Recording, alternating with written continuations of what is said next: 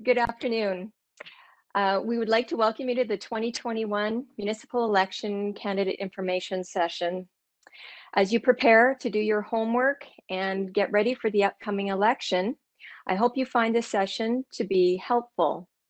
I encourage you to ask questions and initiate discussion to help gain a better understanding of the role of the elected official, campaign, and the election process. Today's PowerPoint has been distributed to those in attendance, and it will also be posted on the city's website. Additionally, as you know, uh, this session is being recorded and it will be available for viewing later on on YouTube. Um, we do have a mixed group uh, today for the presentation. We have some who are uh, have council experience, some who have no council experience, and some who may be here just to get some more information. Um, I would like to do some introductions of the city representatives in attendance. My name is Brenda Moulter, and I am the Director of Legislative Services. I'm also the returning officer for the upcoming election. Andrew, Andrew Kaiser, as you can tell, is the technical one in the team. He will be sharing his screen for the presentation. And he'll be also providing you a bit of insight later on on uh, WebEx for those who may not be familiar with it. Andrew is the Senior Legislative Officer for the city, and he and I have been working closely together on preparations for the upcoming municipal election. In my absence, Andrew would assume the, the responsibilities of the returning officer. If you have some questions regarding this presentation or the election after this session, please feel free. You can email elections at fortsask.ca or you can contact either Andrew or I directly. I would also like to introduce our city manager, Troy Fleming, who is somewhere in the background here, and uh, he will be hanging around should there be any questions of an operational nature that uh, I'm unable to answer. I'm always in the background hanging around. You just need to know that. he is always around. That's right. Um, I think it would also be really helpful for the group to do um, introductions and just because everybody, you might not know each other. And uh, I think it would just help with the dialogue from the group. So um, Andrew, are you able to see the, the an order that we can have people do introductions? Yeah, you bet. I'll go down the list of participants here and we'll have everyone do a brief introduction if they're comfortable. So the first user I have on my list is Brian. Brian, if you're there, please share your video and microphone and do a brief introduction.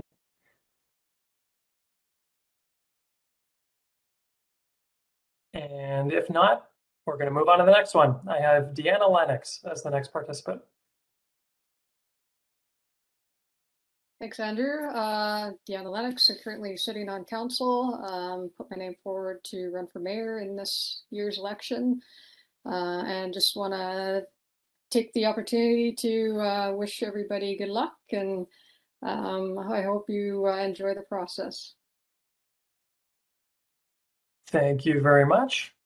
Okay, the next user I have here listed is Fort Sight and Sound. If you'd uh, care to share your name and uh, brief introduction.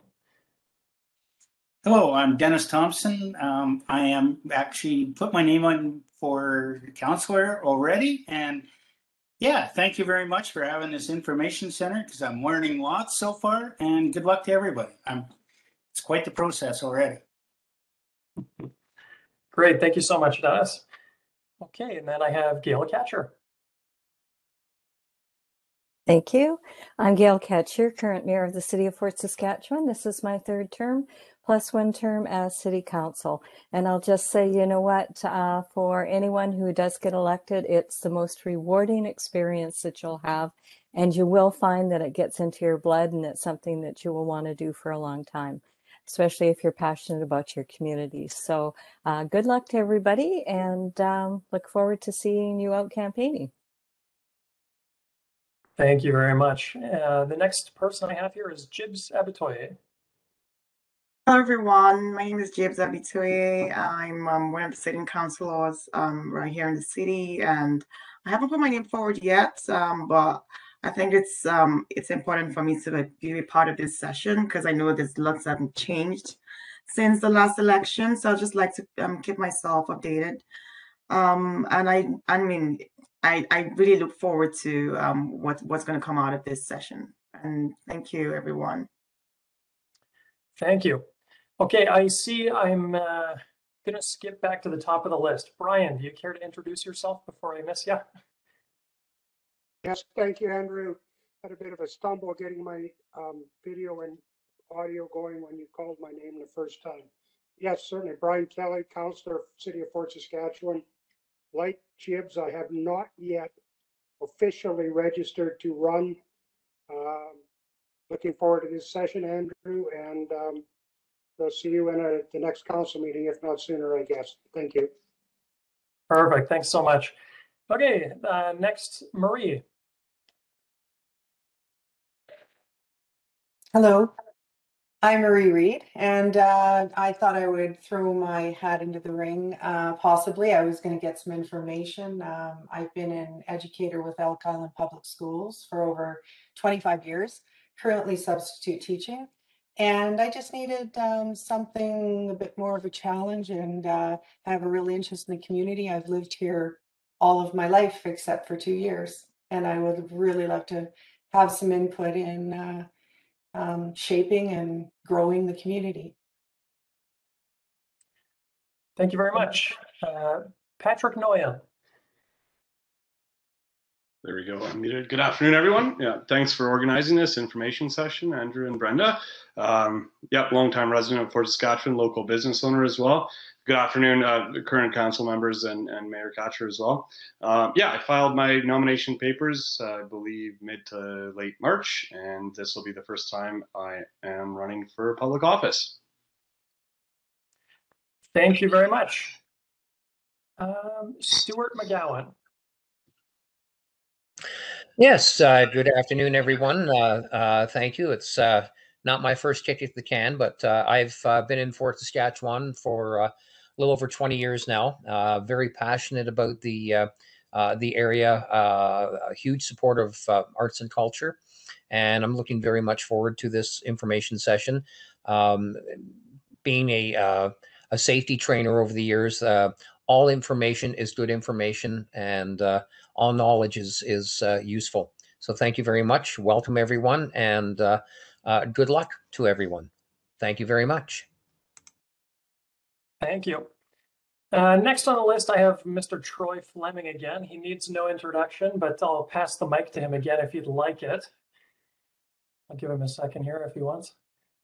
Uh, just um, as introduced, I'm Troy Fleming. I'm the city manager and and um, the city manager is the lone employee of council. So for those of you that are successful being on the next council, we would end up working closely together.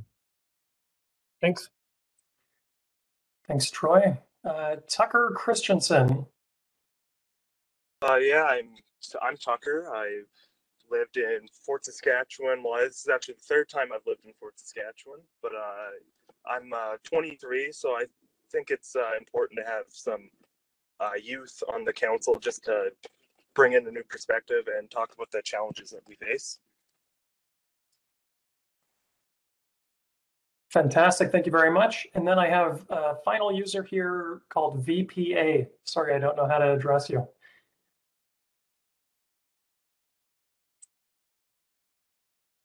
I'll give them a second here to unmute if they'd like.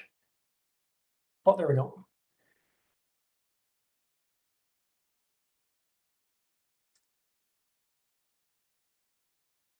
Oh, I think here I am.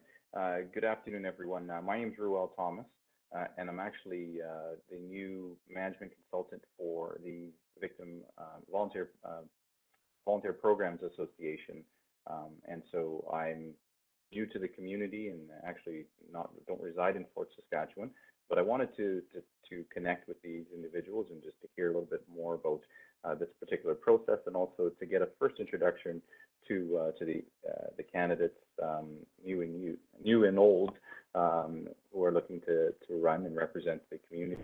So, um, as, in my role, I'll be looking at uh, how the Volunteer uh, Volunteer Program Association uh, can connect more with the city and, and work alongside these individuals. So um, all the best to you. I'm a uh, I'm a Lac La Biche, a former Lac La Biche resident. Don't hold that against me. Um, uh, I, uh, ran uh, a few years ago, um, and so I appreciate all the effort and the uh, and the dedication for these individuals because uh, what you're signing up for, what you have signed up for, uh, A is really critical and, and B um, is, is, is really important. Sometimes thankless work, so be prepared for that. But I'm sure I'm sure Troy can tell you all about that work. So thank you all and good luck. Okay, thank you very much. Okay, I'll pass it back to Brenda here. Um, Andrew, did we lose Scott? Was he, I know he left. Did he come back? Um, I don't have anyone in the lobby, and yeah, you're right. Scott is not on my list anymore, so hopefully he Okay. can reconnect. He may, he may reconnect. So today's, uh, if you can't tell already, today's uh, session is meant to be informal and informative and interactive. So as we work through the slides, feel free to ask questions and uh, provide insight along the way. That would be great. Now I'll hand this back to Andrew. Sure, yeah, thanks. Um, we did a little bit of technical uh, instruction before in the lobby, but there are some people who joined a little bit later. So, um, good afternoon, everyone. Uh, as you may have noticed in the top right of the corner or top right corner of your WebEx application, the session is being recorded and it's going to be uploaded to YouTube once we're done, as Brenda noted. Uh, this is for the benefit of those who expressed interest in the session but weren't able to attend, and for you joining us now in case you want to reference this material we talk about today later on. And also, as Brenda noted, this session is meant to be interactive and we welcome questions. Uh, but in order to ensure all participants can speak and hear in this virtual setting that we're using, I would ask that when you're not actively speaking, please be sure to mute your microphone. Uh, this greatly reduces any audio interference and will help the session run more smoothly. Um, along the bottom of your WebEx application, you'll see the standard controls that come with video conferencing software and may also see a reactions button. I know it differs depending on what device you're joining from, but uh, hopefully you see that little button with a smiley face on it. If you click on that, you should see a raise hand function at the top. Feel free to use that if you have a question, um, because that will help us keep track of uh, how many questions we have and we can address them in order. Um, and you can use the chat function on the bottom as well. You can feel free to throw a question in there and we'll do our best to answer it in order as well. And the last thing for me on the technical side would be that if you're experiencing connection issues, it sometimes helps to turn off your video camera. As much as we want to see everyone's smiling face, if you're finding your connection is quite slow, it may be worth trying to participate with your video off. Okay, so I'll get the slideshow going here. So today's agenda. So today's session will be broken down into general topics, the first of which being the election. There are a number uh, there are a number of subjects that we will touch on, including election information, legislative requirements, some specific documents that are important to reference, campaigning, results, and what to expect post-election. In addition, we're going to discuss the basic roles for a municipal council as a whole and the mayor and councilors within their specific roles as well as time commitment, some challenges, and some of the solutions that you might experience over the term. And I will pass it off to you again, Brenda. Okay, so next we'll talk about the election, election information. So election day is October 18th and voting stations will be open from 9 a.m. to 8 p.m. Now, there was a change uh, in um, 2000 for the 2021 election that were open one hour earlier than legislative required.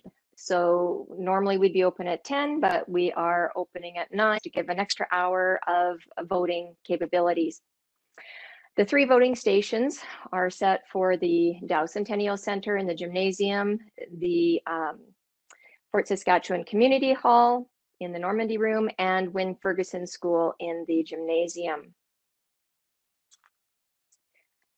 We have increased the number of advanced voting dates from two to five. Of those dates, two of them are um, scheduled to be held as drive-through voting. The drive-through voting will be weather dependent, so if we uh, find ourselves in the unfortunate situation of a blizzard, we will move inside to the DCC. So that is uh, Plan B. Institutional voting will be held for residents of Rivercrest, uh, the Rivercrest Lodge Nursing Home, and Dr. Turner Lodge on October 14th and 15th. Those, uh, the voting will be held for a two to three hour period um, when those residents uh, have finished voting, we're done out of there. Um, residents also have the ability to request special ballots if they are absent from the jurisdiction, if they have a physical disability, or will be working in an election outside the municipality where they live. It should be noted that the returning officer doesn't have the authority to decide whether or not somebody meets this criteria. So that is a, a lot of discussion that we've had um, in the region. Um, the Local Authorities Election Act is very specific on that criteria. However, with COVID and those restrictions, um, you know, they haven't expanded the act to include that the COVID. Um, so basically, um, the people who are requesting a special ballot, they're filling out an oath saying that they meet that criteria. So if they feel that they um, do not want to leave the house because of COVID, then that is up to them to say that perhaps they consider themselves as having a physical disability in that instance. That's just a, a question that we tend to get asked a lot. So results. Um, our goal is to have the election results available to you as soon as possible. However, this could take two to three hours following the close of the voting stations. Uh, follow the, following the final tabulation, candidates will be advised by email and we will post the results on the city's website. We will be having an increased number of tabulators for this election. So we will be increasing from one tabulator per voting station to two. That should help with some efficiency and it will also help because we will we will likely have a provincial referendum question or questions on the ballot. The uh, federal Senate election will be held and possibly school trustee uh, ballots. So it's going to be a fairly busy election. The results will remain uh, unofficial until Friday at noon. I'll hand it over to Andrew. Okay, thanks, Brenda. So in terms of legislative requirements, um, one thing is due to a change in the Local Authorities Election Act, candidates have been able to submit nomination papers since January 1st of this year. Nomination day, which is now considered the cutoff as opposed to the time in which you can submit, is until noon on September 20th. Any candidates who wish to run in the 2021 election must submit nomination papers prior to noon on September 20th. Um, as information, the candidate's nomination package is posted on the city website. This package includes a number of important documents. However, one to excuse me, one to pay special attention to is Form 4, which is the nomination paper and candidate's acceptance. Um, there are a number of legislative requirements that candidates must follow, so it's necessary to review the contents of the Local Authorities Election Act thoroughly. Uh, another important legislative requirement, if there weren't enough, um, following the election, whether elected or not, all candidates must complete and submit a candidate disclosure and financial statement, which is election form 26. This must be submitted to the city prior to March 1st of 2022. At a city level, the elections bylaw was recently revised and adopted by council in preparation for the upcoming election. The bylaw provides the returning officer with the necessary approvals for all election processes uh, and ensures alignment with provincial legislation, as well as includes information on the processes that are in place for conducting the election. Another important municipal bylaw is the election signage bylaw. So this bylaw regulates election signs, if you couldn't guess, and their placement on public property. So according to this bylaw, election signs can be placed on public property following the close of nomination day, which is September 20th. Should signs not conform to the regulations in the bylaw, the city's municipal enforcement services have the authority within the bylaw to remove the signs, and there are financial penalties to be aware of. And back to you, Brenda. So we'll talk about campaigns. As the city conducts the municipal election, administration does not become involved in or support individual campaigns. It is our responsibility to ensure that the election processes are carried out in a fair, accurate, and transparent manner. To assist with that, once candidates have submitted their nomination papers, we aim to share questions asked by one candidate with all, all candidates when it is mutually beneficial. Additionally, questions and information that we believe will be um, valuable to all candidates will be posted on our website. That is something that we have started this year and it will continue to build as we get more information and questions from candidates. This pol uh, sorry, the election campaign provision policy. This policy provides guidelines for administration, current council members, potential members, and the public on the expectations for campaigning and the election processes. So as an example, um, I'm sure you'll be looking at the policy, but an example would be uh, existing council members who plan to run in a future election cannot use their role as a council member to further their election campaign. Um, there are a number of provisions that are specific to what is and what is not permitted, just so that we ensure there is a level playing field bef- between all candidates. So after you're elected, what happens? Following the election, there is a whirlwind of activity for the newly elected officials, such as right from the get-go. The week following the election, we will be scheduling one-on-one interviews between each candidate and members of the Legislative Services team. In that, in that meeting, you will go over things uh, such as reviewing paperwork, policies. Um, we will provide you with the ne necessary equipment that you need to carry out your role, the technical equipment.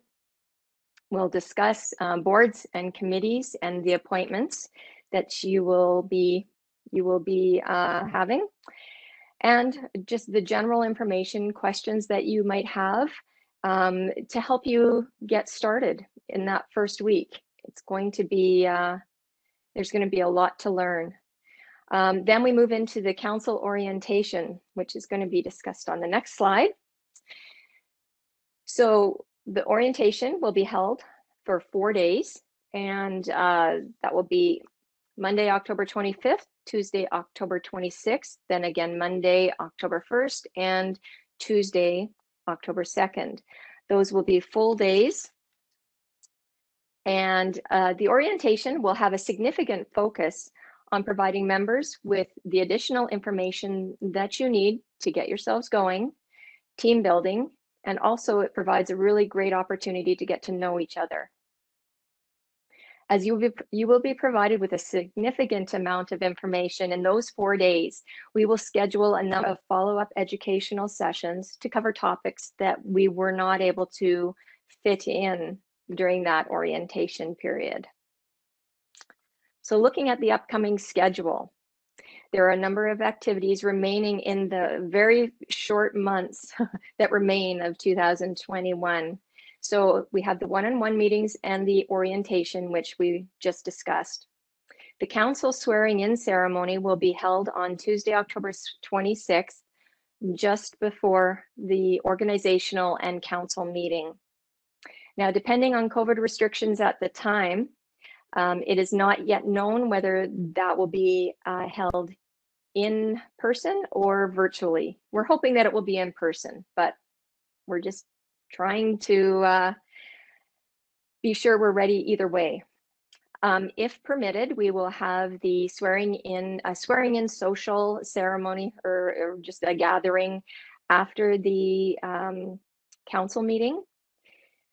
And then, then we move to budget. So mid, um, mid-November, we have five full days of budget deliberations um, scheduled. Depending on how quickly we get through uh, budget deliberations, it may not need all of that time, but at this point, that is what is scheduled. Uh, there will likely be other external uh, training opportunities, presentations uh, by other municipalities. This typically happens following an election.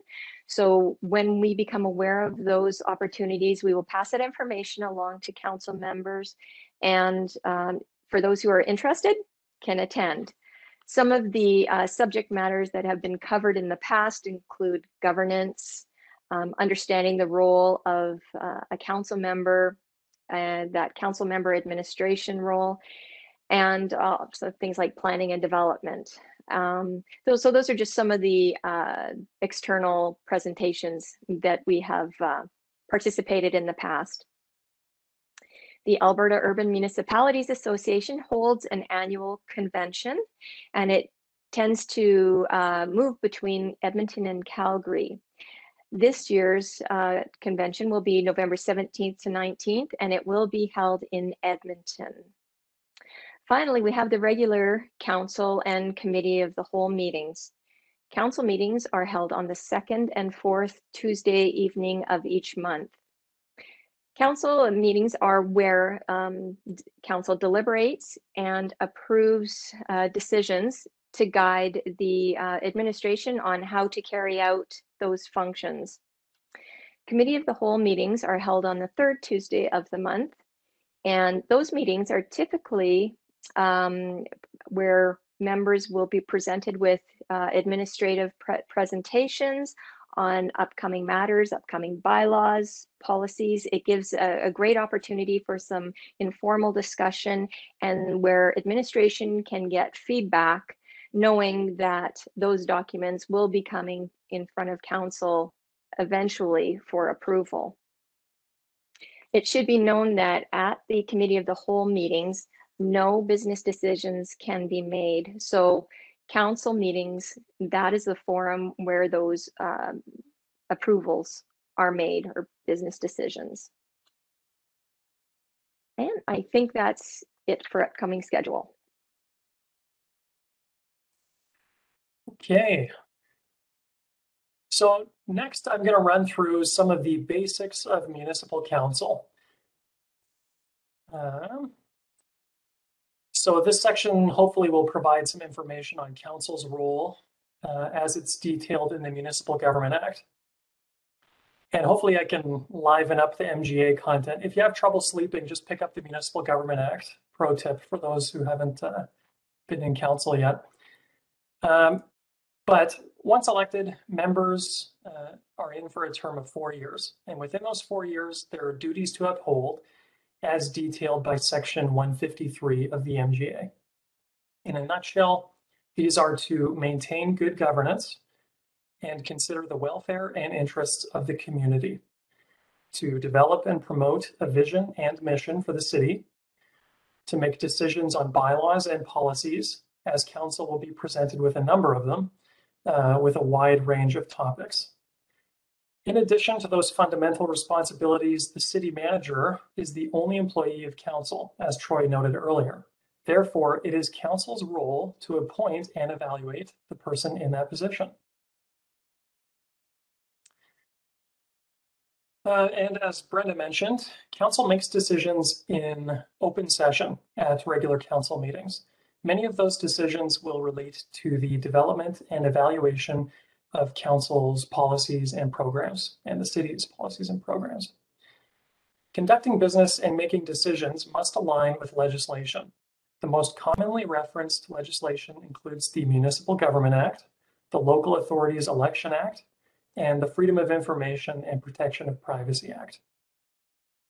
Council must stay up to date on operations and administration of the municipality, and that information can be requested of administration. And finally, for this presentation, not finally among all your responsibilities, but uh, it is council's role to adopt municipal budgets on an annual basis. So getting down to position specific, uh, the role of the mayor. In Fort Saskatchewan, the mayor's position is considered to be full-time and has a dedicated office on the third floor of City Hall. The mayor is one of seven members of council and has the same powers, responsibilities, and voting rights as the other six members. The mayor acts as the chair in council meetings and is the primary representative or spokesperson on behalf of council at events. Additionally, the mayor is often required to represent the city by interacting with other levels of government, regional groups, and municipalities. The mayor is a member of all council committees as permitted by the Municipal Government Act. And in the event the mayor is unable, excuse me, unable to carry out their duties, the current deputy mayor would act in the capacity of mayor. And the deputy mayor is uh, each member of council. And so they serve as the deputy for a rotating three month period. So during your four year term, a council member would act as deputy twice. In terms of councilors, the city's councilors are considered part-time. And as the city does not have a ward system, as other municipalities do, when members are elected, they represent the entire community, not just a select portion.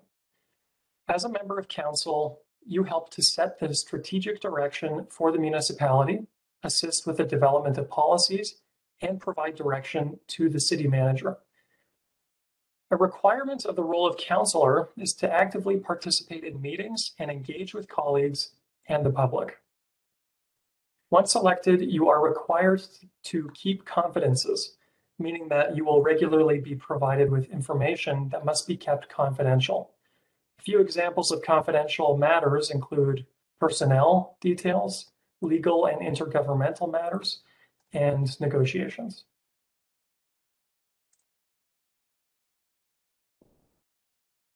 And now I'm going to pass it back to Brenda here. Okay. So looking at the time commitment, this is a question that we get asked a lot. How much time do you need to commit to this role? As previously, uh, previously stated, members attend two council meetings and one committee of the whole meeting each month. Uh, council uh, public sessions are currently scheduled to start at 6 p.m. on the Tuesday night. If needed, a closed session or an in-camera session uh, would be scheduled for 5 p.m. Committee of the whole meetings start at 5 p.m. And if a closed session is required, it's typically held at the end of the meeting. Due to the number of items on the agendas, we can we may frequently uh, see meetings that may need to start at a, an earlier time. So uh, lately, we've been having to start meetings at either two or three o'clock, depending on the number of items on the agenda. So you'll need to set aside an adequate number, uh, an adequate amount of time to prepare for those meetings. Um, that includes reading the material for the agendas, um, preparing questions and comments that can be ready for presentation at the meeting. Additional time is also required for any board or committee or commission appointments that you might have. You know, there's also public appearances, um, public engagement, and there are any number of questions that you could get from members of the public. So that can be very time consuming. Um, ultimately, it's up to each individual member. How much time do you have to dedicate to this role? So looking at some of the common challenges that exist on council as being a member of council or council as a whole. Some of the more common challenges, um, not being clear on the roles of council, the mayor, councilors, and administration. When there is a lack of strategic direction for council, when members act on their own using their own opinions rather than those um, that have been approved uh, by council as a whole. And when individual members direct administration, members of the administration. So as mentioned, um, the city manager is the only employee for council. So those questions should filter through the city manager and then they will filter through to administration as necessary. So looking at some solutions that we might need, that would be the next slide please. Um, some of the recommended solutions include treating other members of council and administration with respect, only making decisions based on approved bylaws and policies, making decisions through resolution or bylaw. That is how council, when I mentioned before, making decisions, it's through either a resolution or bylaw providing council with the relevant and detailed, a de relevant and detailed orientation. So following that, members may take it upon themselves to do further training in that four-year period, whether that's internal education sessions or external.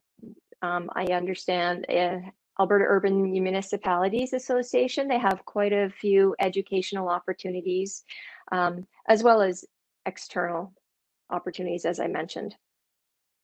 The key for success uh, for members of council is to remain respectful, even when there are differing opinions, and um, knowing that you will be working for the betterment of the community. That is your ultimate goal.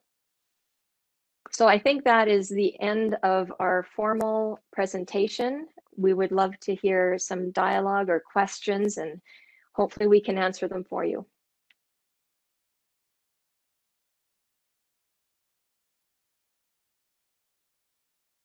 Can I ask a couple questions? Absolutely. Okay, so um, the first one is you didn't talk about the code of conduct. And the other thing that I missed on the last slide was that council can only direct uh, or give direction to um, to the city manager as a council of the whole because sometimes some councilors i think probably think you know as they come in they can give direction uh, on their own but it's about who can and, and how it's done so if you can cover those two areas please i can you. i can i can certainly talk to those areas and i'm guessing that uh, troy may be able to expand on the second question beyond what what i can um, yes, recently uh, there was a change to the Municipal Government Act, which require municipalities to adopt a code of conduct.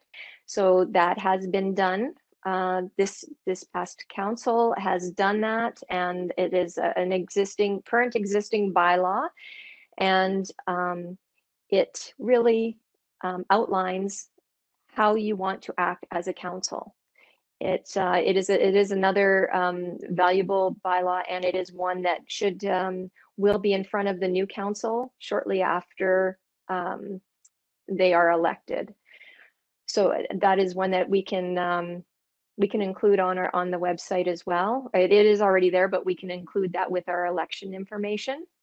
Now, with respect to having discussions with the city manager or directing the city manager, you're correct there that uh, the city manager takes direction from council as a whole, not from individual members. Now, that does not preclude um, individual members from speaking to him. As, as Troy said, he is your employee. And uh, so there will be discussions. So Troy, I don't know if you want to expand on that, just the, the nature of your relationship.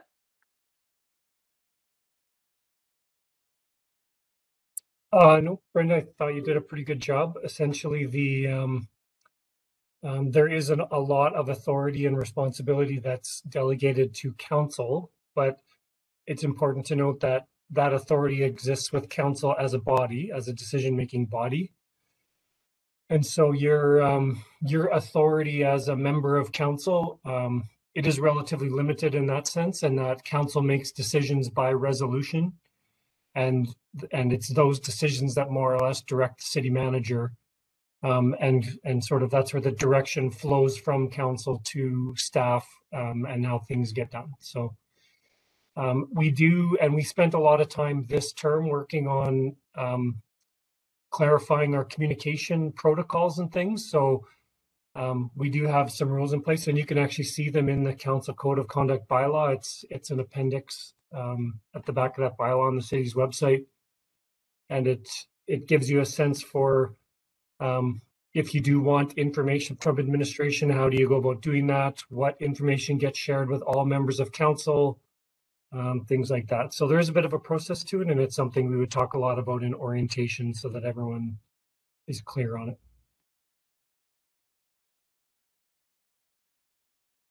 Excellent. Thanks, Troy. Are there any other questions that we'd love to hear? Yeah, hi. I just tried the raising hand emoji. I was just uh, going to ask in terms of uh, signage bylaw for private property, does that exist? Or, because you did mention public property, maybe it's something I skipped over in the information package. Just in terms of opening date, I guess, is what I'm asking. Right, right.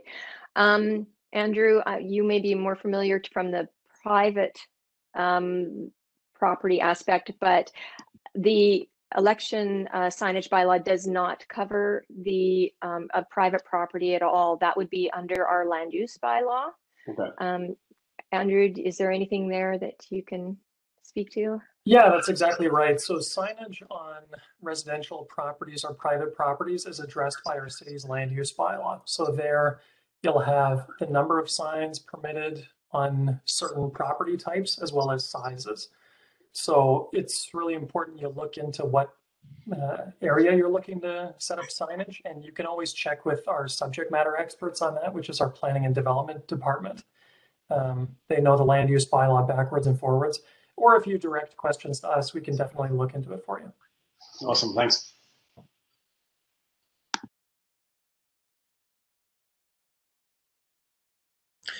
Yeah, I'm glad to uh, hear about the uh, code of conduct. Um, uh, that's something that um, I'm uh, I, I've been looking for for a while, coming forth from uh, from council. Um, as I think so, not so much within the council parameter inside, but I think outside during elections, it's been uh, uh, a, a little less than desirable. Um, and I like the idea of the level playing field as well. Makes it a little easier for um, everyone to um, engage properly and not think that uh, uh, someone who may be on council, uh, and I'm not talking about current council, but uh, in councils gone by where the, the position has been used to uh, further uh, their um, ability to run in a in a follow up um, election. So I, I'm very happy to hear uh, hear these things, uh, and knowing that I can ask uh, questions going forward as well. But uh, as they crop up, um, uh, Brenda, I think you you guys have been wonderful with putting the package together and and getting this information out. Um, um, I'm looking forward to this year's election. Thank you, Stuart, for those comments. Um, yeah, I we it, ensuring that um, we have that level playing field is very, very important to us. Um, and so we are very mindful of of those um, those requirements. We're to to help with that. It was the the questions and making sure that everybody uh, is aware. And should you get on council, you'll find that that's the same how the the same thing that uh, works. If somebody one of the council members asks a question, it's filtered through to the other so that everybody has the same information. So it's really using that same concept um, especially after right now it's a little difficult as as nomination papers are trickling in um, but once the close of nomination day occurs and we know what candidates are running um, i will likely have a, a distribution whether depending on the amount of questions coming in whether that's a couple times a week or and it will just be um, a summary of those questions. And as I said, some of the more common ones can also be put on the website, but uh, that's that's what we're going to be looking at doing.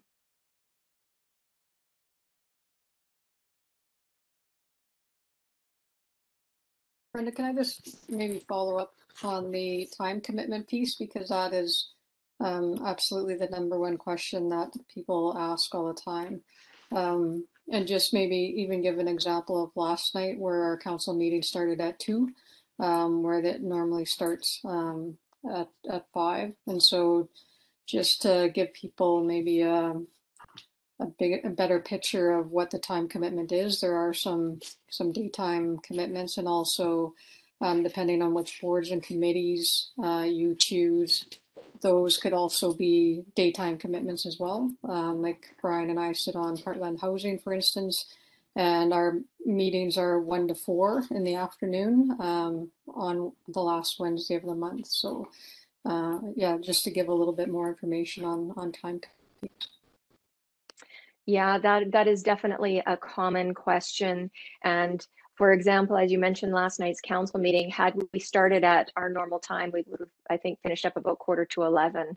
It's, um, it's, it's, it can be pretty late when, when there's a lot on the agenda. So it is great to have that flexibility to be able to start earlier when those agendas warrant it. Um, and uh, sorry, I just lost my train of thought. Uh, with the boards and committees, we are going to be spending more time on um, what do they look like what just so that even when you're just even before we've started the orientation and you meet with uh, legislative services staff we will give you an over overview of those boards and committees and we'll ask you to start thinking about what what are you interested in which ones do you think you might want to participate what type of time commitment do you have to be able to to commit to those particular organizations. Um, there is a quite a detailed process for the appointments and it's going to be fairly quick in the election year. It's going to be a fairly quick process, but uh, I believe there's going to be also be some time spent on boards and committees during the orientation.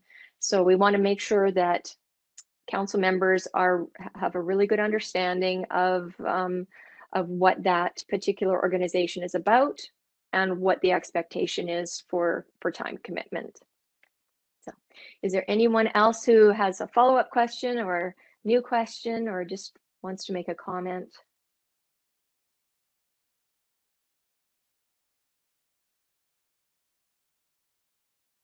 Actually, that was the question that I had. Um, if you um, aren't really, oh, you know, uh, familiar with, let's say, roads and infrastructure and that sort of thing, you would go on a committee that that would, I mean, you would chime in on those sorts of uh, voting things. But obviously, um, I guess I was wondering, you would pick a committee that really um, sort of adapted to your interests and maybe your expertise.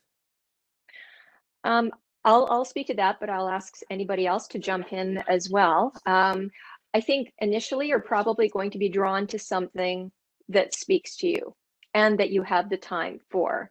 As far as those those other areas that you're not familiar with, um, there will be, as far as your council rule goes, when items come in front of council and maybe you're not familiar with roads, it will be administration's responsibility to prepare enough the, the report so that you have the information that you need to make an informed decision. That's kind of a, a separate uh, a separate item. But yes, I think as far as the boards and committees, that's likely where you would start with, unless you really wanted to go outside your comfort zone. But I would gladly leave it up to somebody else to to to speak to that as well. If I can jump in on that one. So it might be worthwhile um, to look at what the boards and committees that are available. So, I mean, um, there's the intermunicipal relations, which is intergovernmental, uh, the Alberta's Industrial Heartland, the Capital Region Water Commission, the Capital Region Wastewater Commission, Heartland Housing, uh, Capital Region Waste Commission.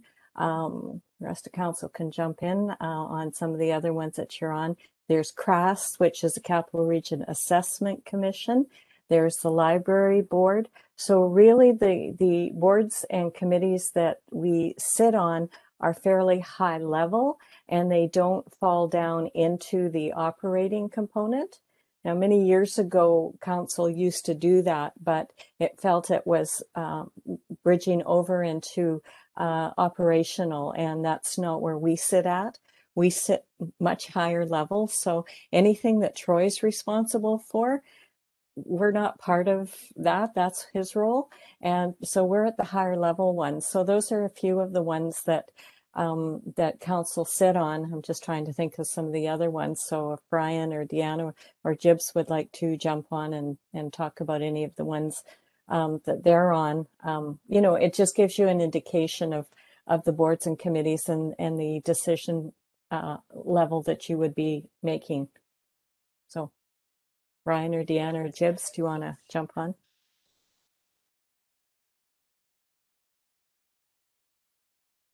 Yes, thanks, Gale. I think also there's the alternate position for a few of the boards, such as the Edmonton Metro Regional Board. Um, Typically, the mayor represents our city, but there's also an, an alternate or a standby councilor, and, and that particular function can, can absorb quite a bit of time during a normal month. Uh, That's the one that I think it, maybe I missed it in, in, in your comments, not sure. Thank you. Yeah, that, that uh, answers my question. Thank you very much.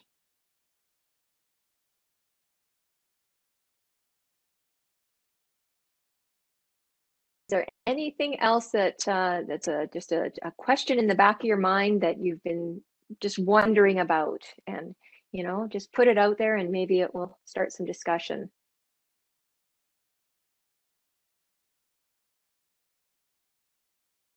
I suspect that uh, it's been pretty, pretty, pretty quiet as far as people's um, submitting nomination papers, but I suspect that's probably going to um, to speed up fairly quickly. Um, you know, September is not that far away, which is really quite frightening. But uh, yeah, we're we're going to continue to work on our processes, but I'd love to be able to help you if you can. So I uh, I was able to pull up the actual list of uh, board and committee assignments so that I can offer that up. So Alberta's Industrial Heartland, um, Capital Region Northeast Water Services Commission. We're also on the Emergency Advisory Committee, which all of City Council is on. Uh, Fort Saskatchewan Policing Committee, um, uh, Edmonton Metropolitan, uh, Heartland Housing, uh, the assessment, uh, capital region assessment, community events grants committee, which people can choose to sit on that, the intermunicipal relations. Uh, we did have a temporary one for a period of time for the Regional Transit Services Commission, and I'm not sure how that board is going to uh, go going forward, if it'll be a member of council appointed to it. I make the assumption it will be, so that would be another one. Um, let's see, uh, Edmonton Global, um, let's see, River Valley Alliance, uh, uh, let's see, community events, uh, and the Subdivision Development and Appeal Board. So on some of those, there's one, on some of those, there's two, and some of them, there are alternates that uh, participate as well. So that that's all of the ones that only council would be involved in. Okay. I think we, just to add on to that, Gale, I think we committed to Edmonton Salutes as well. Did we, that's coming up, right? Maybe it's not on our current organizational list, but uh, perhaps it'll be on for the coming election or post-election. Yeah, I believe that was correct. I think it was for the next term of council. So, but we have that noted. Another subject, Brenda, that maybe is worth touching on is when administration anticipates we can get back to live meetings. We've been 14 months now remote and, and uh, it might be something everybody'd like to hear. I can I can speak to that, and then again, uh, if Troy has uh, something to add, I would welcome his comments.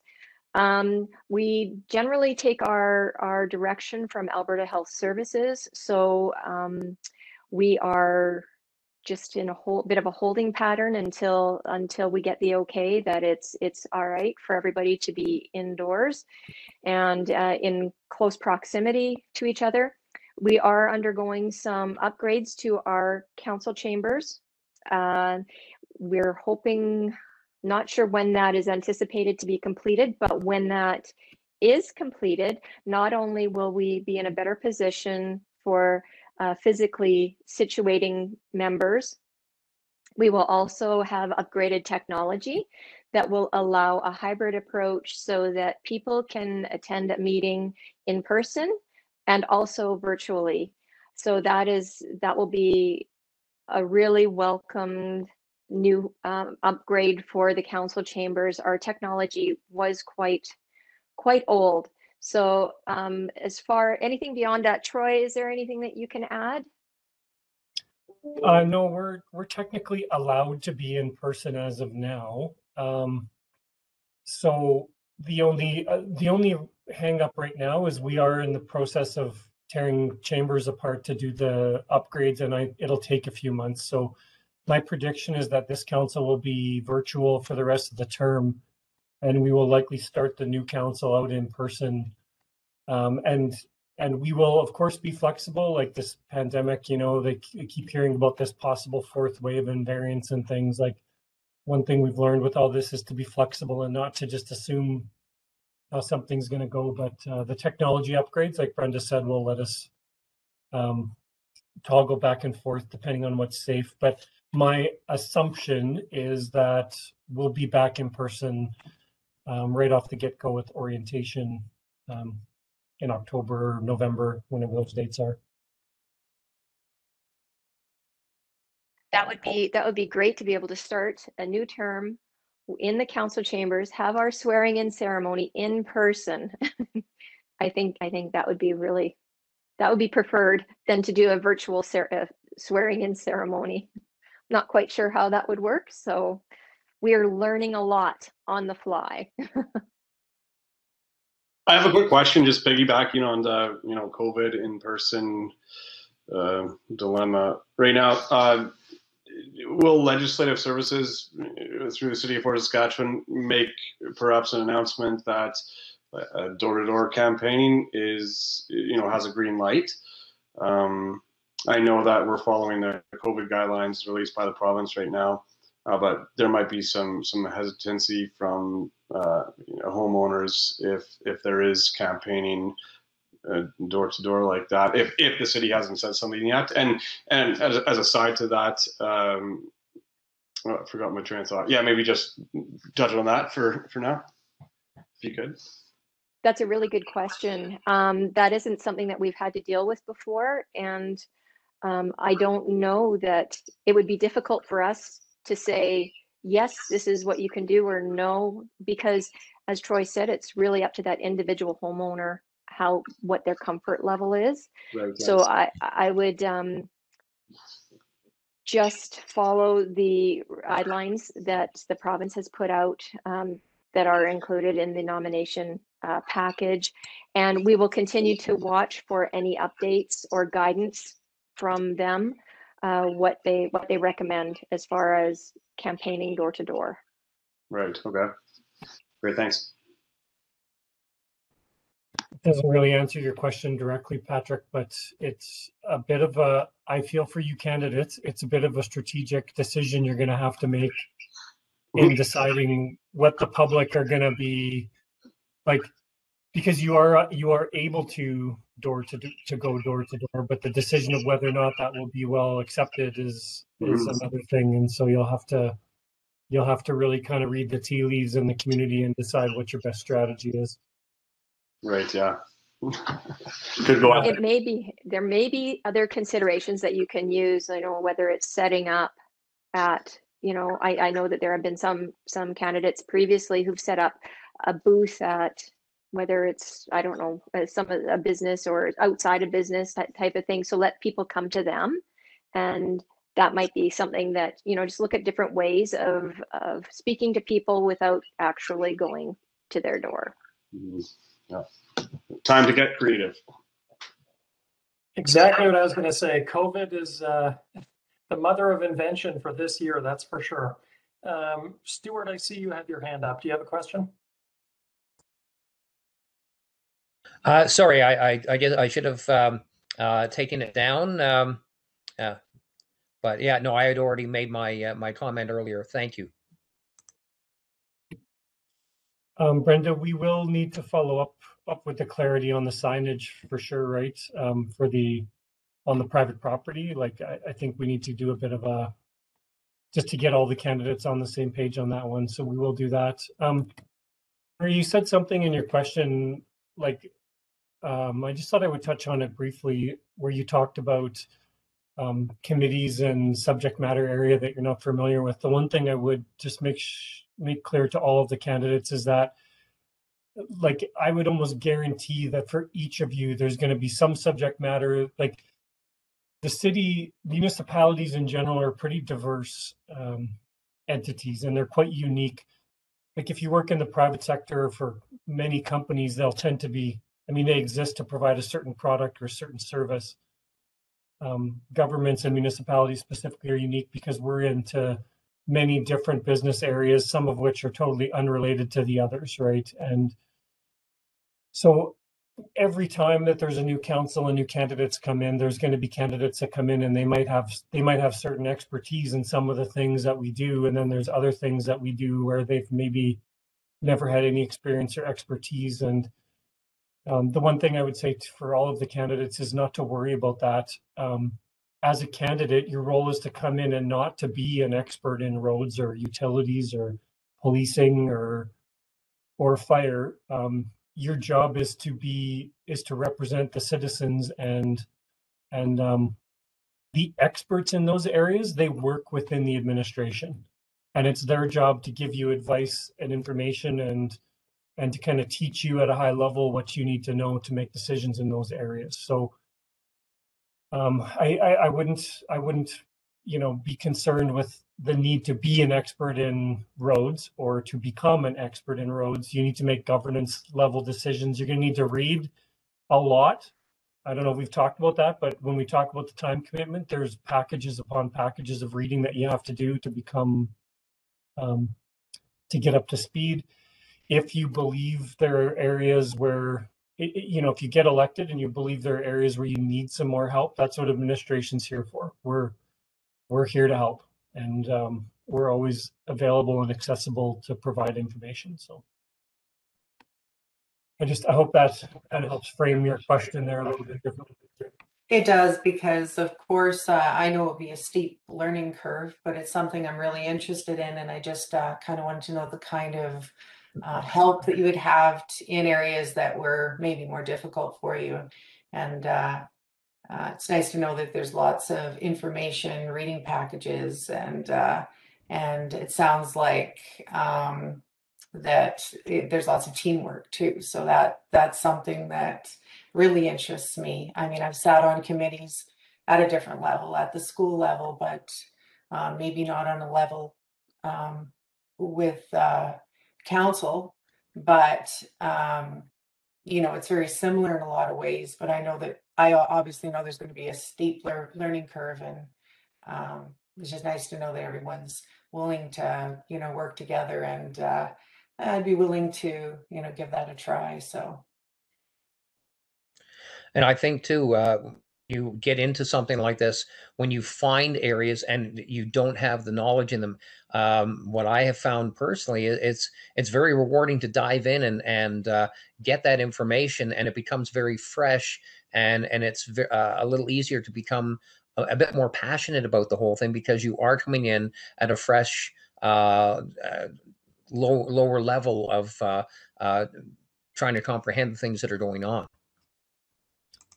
yeah one thing we're going to try to do a little bit differently this year and this is for the re- possible returning members of council in addition to the possible new members of council is that we expanded our council orientation from two days to four days um, because of feedback that we had two cycles ago where um, we we had heard you know we didn't we didn't learn enough or we didn't know enough to kind of get going So then we had four days where we just rammed as much information as we possibly could down council's throat. And I remember at one point, Councillor Kelly going, "Oh, this is way more involved than I thought it was going to be." And and we kind of ended up realizing that what we need to do is balance it off where we're still going to have the four days, uh, but we're we've actually taken a series of topics and and we're gonna we're gonna revisit those kind of a month down the road and then two months and so the orientation process will actually go several months, but we're gonna break it up into pieces. So right off the get goes, you'll get the stuff that we think you need to know right away and to get you through that first couple council meetings. And then some of the higher order stuff, um, you might get that, you know, maybe a month or two months or three months later, um, just to help the settling process, I guess you could say.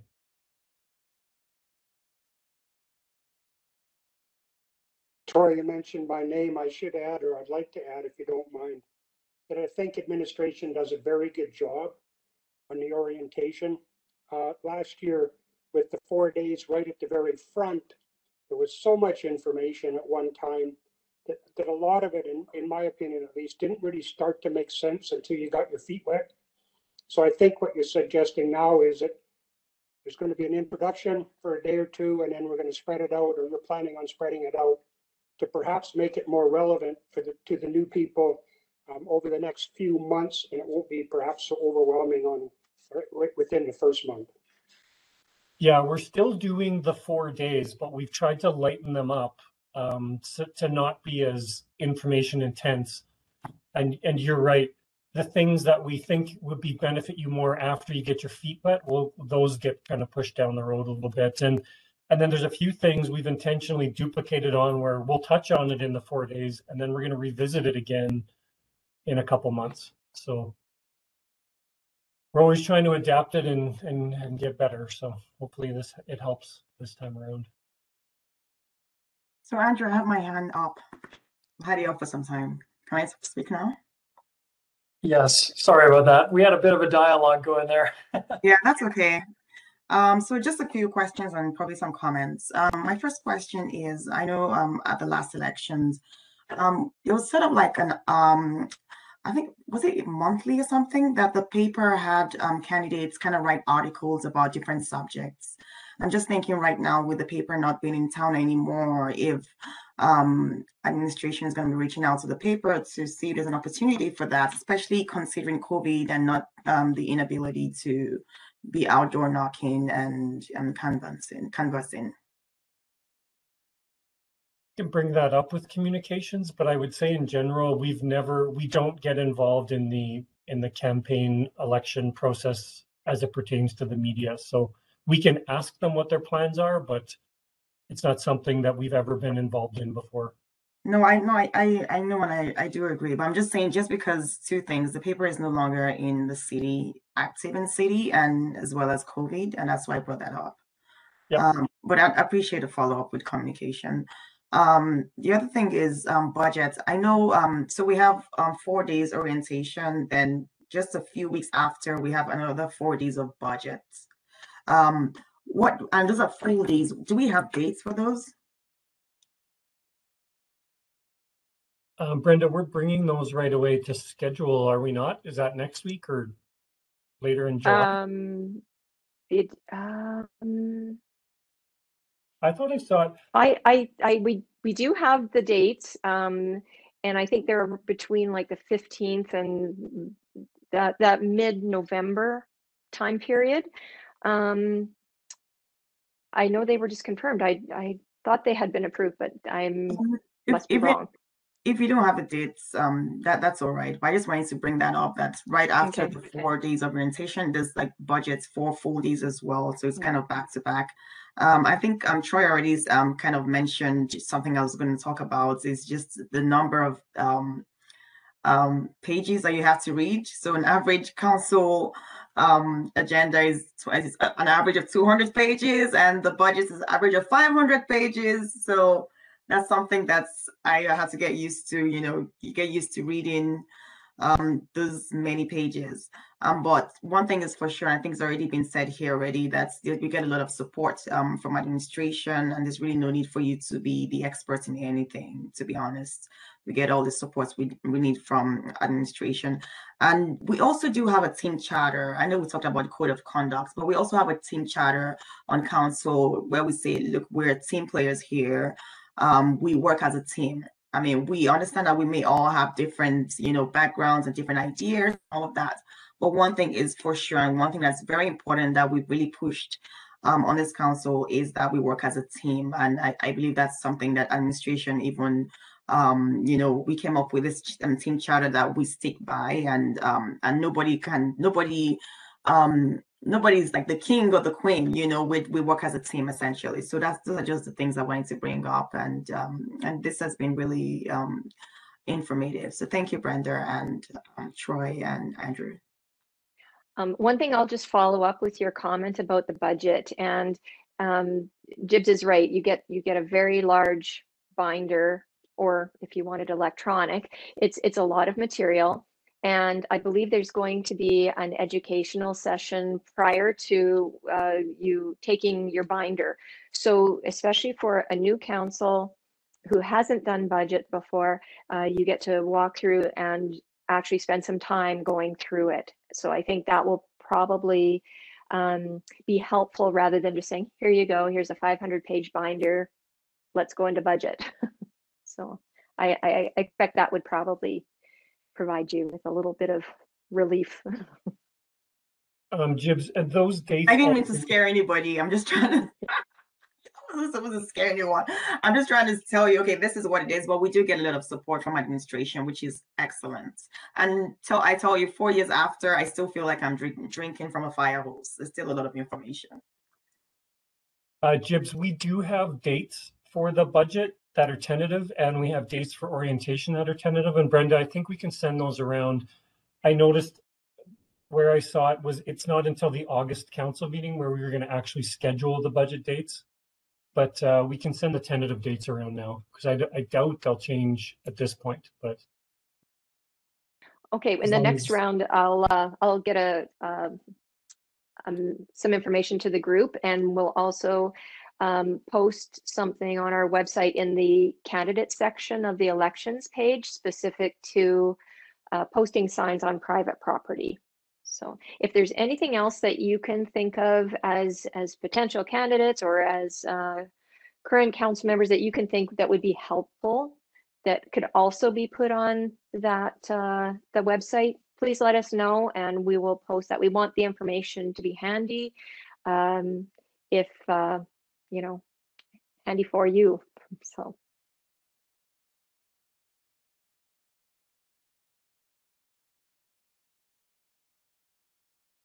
does anybody else have anything that they would like to ask, discuss, provide comments on?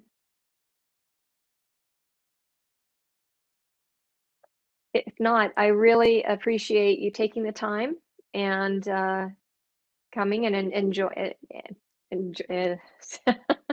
participating in this session with us. I wish we could have done it in person, but uh, this is this gives us at least another opportunity to to try and and meet and get some information out there for for everyone. Sorry, I had a, a quick question. Um, I, I w- wasn't familiar uh, last election. Did Legislative Services organize uh, like a town hall for for candidates to like because I think I think I recall seeing that. Um, and if if so, is Legislative uh, Services going to be potentially organizing a virtual town hall or two uh, in, in yeah, before before this this election happens? You're you're correct that uh, there have been forums in the past. Uh, Legislative Services or the city does not get involved in those. Uh, we do not coordinate them. I believe they are coordinated by the Chamber of Commerce. Oh, is that right? correct? Okay. Yeah. Yeah, yeah, So, yeah. uh, Chamber of Commerce. I, I expect that they will do, uh, they will hold one, um, I guess depending on the, pro- the provisions at the time, whether it can be in person or, or virtual, but I, I would, I would be surprised if, if that wasn't going to happen, but. Okay. Yeah, thanks. Thanks for organizing this. You're welcome. So if there are no other comments, Andrew or Troy, do you have anything in closing? No, other than I'll prepare the video for posting on YouTube so you can reference it later. And I'll also, in the description of that video, post links to some of the documents that we talked about in this session. And I've taken notes about some of the comments with follow-up, and we'll obviously reach out to attendees with uh, that follow-up information that we're taking away. So thank you for those questions. No, good luck. Okay, Thank you, everyone. fantastic. Thank you. Thank you, everyone. Thank you.